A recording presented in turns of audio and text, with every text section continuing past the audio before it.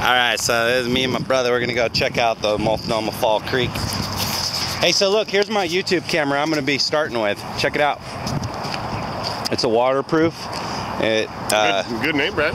yeah, no, it's it's a good one. And so you just kind of hold it like this, and and I can download these to my. Uh, I have a good. Surface Pro. Oh, there's the fish. I was gonna say, look at these fish. See, so it's illegal. Oh, look at catch. that! Look at that guy. Is he dead? Where?